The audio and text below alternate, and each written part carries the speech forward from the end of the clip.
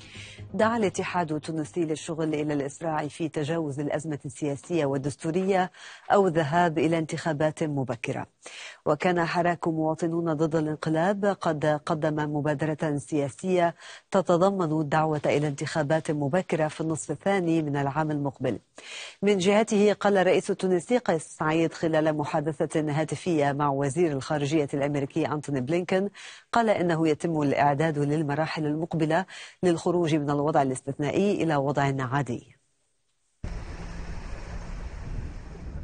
أربعة أشهر عمر التدابير الاستثنائية التي لا تزال تعيش على وقعها تونس وهي سابقة في تاريخ البلاد.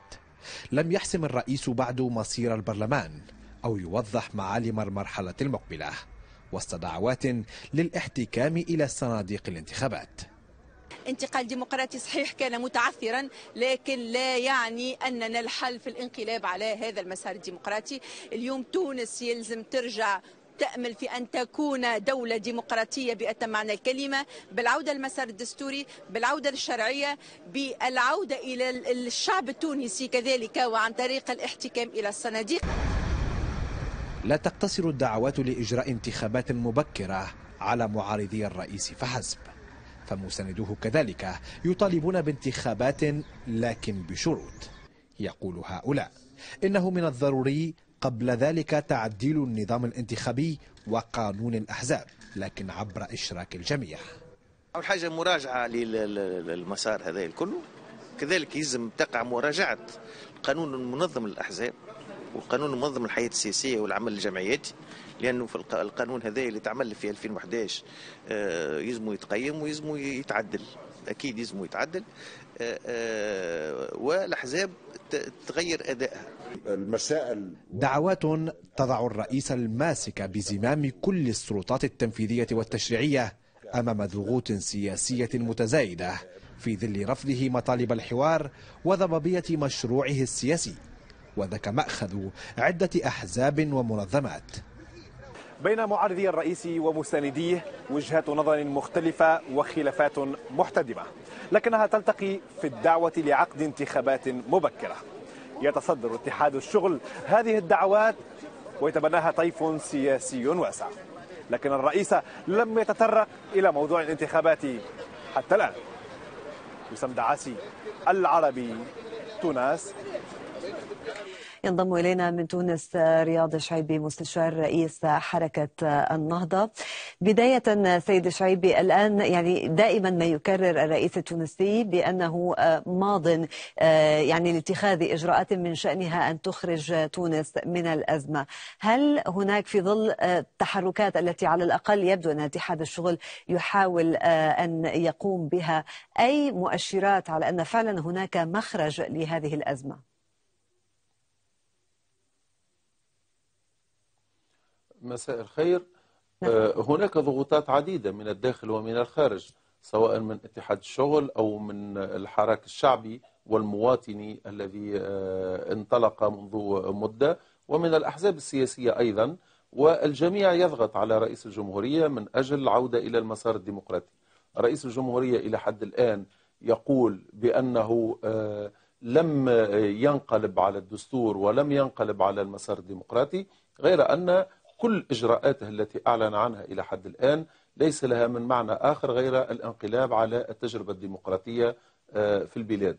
وبالتالي ليس هناك حقيقة آه، صدقية لما يصدر عن رئاسة الجمهورية في هذا الخصوص لأنه آه، الإحساس بالشك عميق لدى كل الفاعلين السياسيين في أن رئيس الجمهورية بالفعل يريد العودة للديمقراطية وإنما يريد فقط تجميع السلطة بيد واحد. طب هذا ما تكرره حركة النهضة التي أيضا يعني هناك من لا يزال يحمل آه، حركة النهضة المسؤولية عما وصلت إليه الأمور.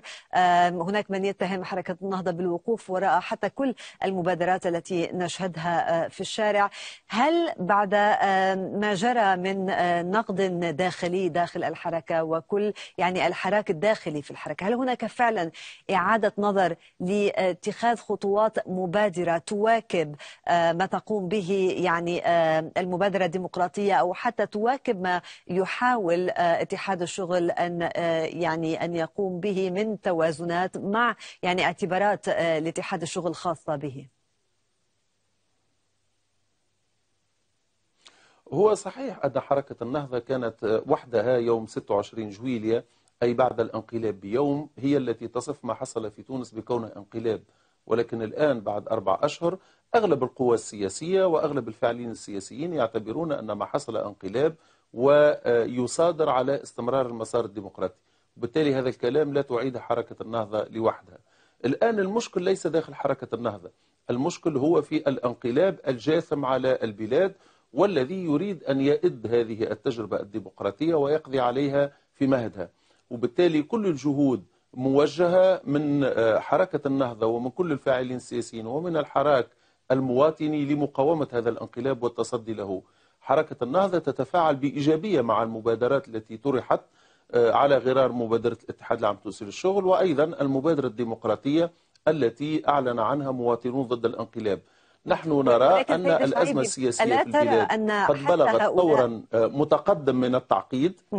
ولكن ألا ترى أنه غير أن الرئيس التونسي قيس سعيد يعني لا يريد أي حوار مع الأحزاب ككل وتحديدا مع حركة النهضة ولكن حتى من يقوم بمبادرات اليوم وهم قلة في في تونس يريدون أن يبتعدوا قدر الإمكان عن حركة النهضة كي يعني يشعرون أن هناك أمل لنجاح مبادراتهم وكأن أي تقارب الآن مع حركة النهضة هو وصمة. لا هو رئيس الجمهورية لا يتحاور مع أي أحد وليس فقط مع حركة النهضة. كل الأحزاب السياسية والمنظمات الوطنية تدق باب رئيس الجمهورية وتحاول أن تفتح معه حوارا حول أفق الخروج من الأزمة ولكنه يرفض ذلك. بالنسبة لحركة النهضة هذا غير صحيح. حركة النهضة تتواصل مع كثير من القوى السياسية في البلاد وتتباحث معها حول سبل الخروج من الأزمة الحالية غير أن الأصوات العالية للأسف في الإعلام التونسي الداخلي هي الأصوات الإقصائية وهذا ما يعطي انطباع مخالف للحقيقة. حركة النهضة على صلة دائمة بأهم الفاعلين الديمقراطيين في البلاد وتتحاور معهم وتتشاور معهم وتحاول أن تطور موقفها طبقا للملاحظات التي يبدونها يبديها هؤلاء الفاعلون السياسيون. من تونس سيد رياض الشعيبي مستشار رئيس حركة النهضة شكرا جزيلا لك.